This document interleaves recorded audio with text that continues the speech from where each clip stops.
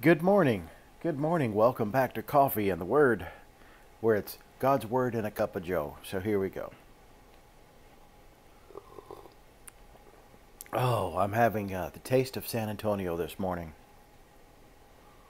Mmm. Good stuff. All right. Grace and peace to you from God our Father and the Lord Jesus Christ. I hope and pray that you're all doing well today. Um, in case this is your first time reading it, or first time seeing this, uh, my name is John Guru, and I'm from Joy Lutheran Church in Richmond, Texas. And every morning I get up and read from the Revised Common Lectionary. Uh, if you'll check the description of the video on, on YouTube, you'll see a link uh, to our church website, a link to where you can get the Revised Common Lectionary on your smart device, and a link to the Pray Now app, and I use that for the prayer of the day afterwards. So let's see where we're going today. Today we're starting out in Psalms, as always, uh, and then we're going to Isaiah, two separate readings from Isaiah, and then we're going to Romans. Romans, love Romans. I heard a pastor one time describe Romans as the Fort Knox of Christian doctrine. And uh, a few years back, I was working somewhere and I was teaching a Bible study, and we went through verse by verse through the book of Romans, and it's such a such an awesome study. So, anyway, let's uh, click on the link here in my calendar, and it takes me to thebiblegateway.com, and that has all the readings there. And once again, it has switched me back over to the new international version. Nothing wrong with that version. It's okay, but uh, I prefer the English Standard Version, so I got to go in here and switch. I'm not sure why it keeps doing this. All right, here we go. Get a little coffee. Check out my new mug, Coffee and the Word. Awesome. All right, we're going to start off today with Psalm 29. As always, may God bless the reading of His Word. So here we go. Ascribe to the Lord, O heavenly beings. Ascribe to the Lord glory and strength. Ascribe to the Lord the glory due his name. Worship the Lord in the splendor of holiness. The voice of the Lord is over the waters. The God of glory thunders. The Lord over many waters. The voice of the Lord is powerful. The voice of the Lord is full of majesty. The voice of the Lord breaks the cedars. The Lord breaks the cedars of Lebanon. He makes Lebanon to skip like a calf, and Sirion like a young wild ox. The voice of the Lord flashes forth flames of fire. The voice, the, the voice of the Lord shakes the wilderness. The, vo- the Lord shakes the wilderness of Kadesh. The voice of the Lord makes the deer give birth, and strips the forest bare. And in his temple all cry, Glory. The Lord sits enthroned over the flood. The Lord sits enthroned as king forever. May the Lord give strength to his people May the Lord bless his people with peace.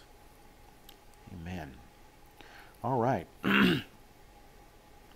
the Old Testament lesson this morning. We're going to Isaiah chapter 1, verses 1 through 4. So here we go.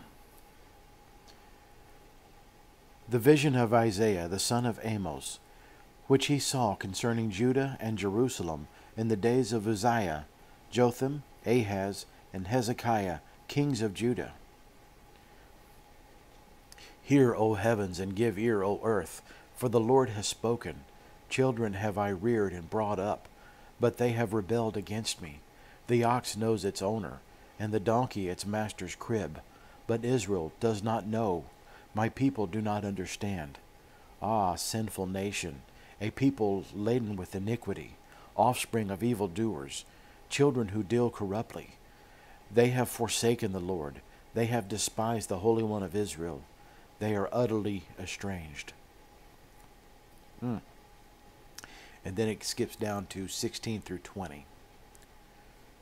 Wash yourselves, make yourselves clean.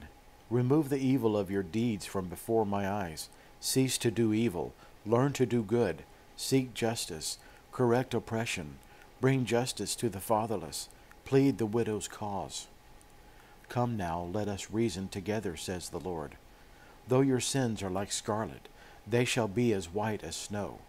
Though they are red like crimson, they shall become like wool. If you are willing and obedient, you shall eat the good of the land. But if you refuse and rebel, you shall be eaten by the sword, for the mouth of the Lord has spoken. All right. Okay. Let me turn this way for this one. All right. A little coffee. Next, we're going to the New Testament is Romans chapter 8, verses 1 through 8. All right. There is therefore no condemnation for those who are in Christ Jesus. For the law of the Spirit of life has set you free in Christ Jesus from the law of sin and death. For God has done what the law, weakened by the flesh, could not do. By sending his own Son in the likeness of sinful flesh, and for sin, he condemned sin in the flesh, in order that the righteous requirement of the law might be fulfilled in us, who walk not according to, to the flesh, but according to the Spirit. For those who live according to the flesh set their minds on things of the flesh, but those who live according to the Spirit set their minds on the things of the Spirit. For to set the mind on, on the flesh is death, but to set the mind on the Spirit is life and peace. For the mind that is set on the flesh is hostile to God, for it does not submit to God's law. Indeed, it cannot. Those who are in the flesh cannot please God. And this is the word of the Lord. Let's go to the Pray Now app and read the prayer of the day.